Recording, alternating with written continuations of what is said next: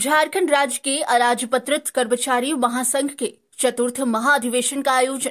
जमशेदपुर स्थित वन विभाग सभागार में रविवार को आयोजित किया गया, जहाँ राज्य भर के संघ के प्रतिनिधि शामिल हुए।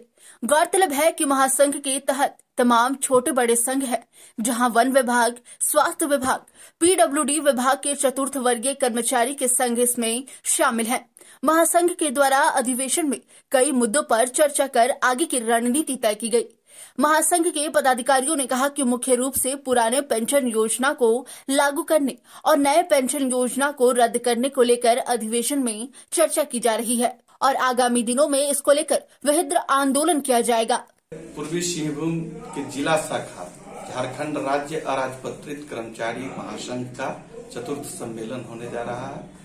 और ये जो सम्मेलन है, इस सम्मेलन में हमारे बहुत सारे विभाग को मिलकर के ये संघों का संघ महासंघ होता है। इसमें वन विभाग के लोग हैं, इसमें वन के चतुर्थ वर्गीय कर्मचारी हैं, इसमें अवर वन सेवा संघ के लोग हैं, इसमें पीडब्ल्यूडी बिल्डिंग के रोड हैं, इसमें पीडब्ल्यूडी रोड के लोग हैं, इसमें स्वास्थ्य के लोग हैं, और ये सारे लोग मिल करके ये महासंघ का जो निर्माण होता है, उस तरह से ये चौथा सम्मेलन हम लोगों का आज होने जा रहा है। इसमें हमारे झारखंड राज्य के महामंत्री साथी रामाधार शर्मा जी आए हुए हैं, राज्य अध्यक्ष नवीन कुमार चौधरी जी आए हुए हैं और अनुबंध के जितने कर्मी हैं वो आए हुए हैं हम बहुत सारे मुद्दों को आज के इस बैठक में आज के इस सम्मेलन में प्रस्ताव के रूप में पारित करेंगे जो सरकार तक हम अपनी मांगों को रखेंगे न्यूज़ विंग के लिए जमशेदपुर से गंगाधर पांडे की report Uh, is a small place, and uh, we have like very less facilities in terms of you know education and this kind of infrastructure.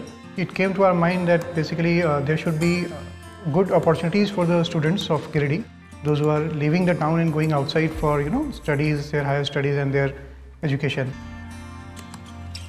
I wanted my son to start with the coding classes. So I researched it online, I got through all the reviews and everything. Then I got in touch with the White Hat representatives and I was very happy with the progress and all how he was doing.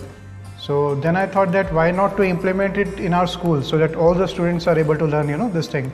I started coding because we can make our uh, thoughts real. We can interact with the computer. Whitehead Junior is helping me to create a web browser And I think uh, on this part, White Hat is actually leading, uh, you know, on this this coding platform.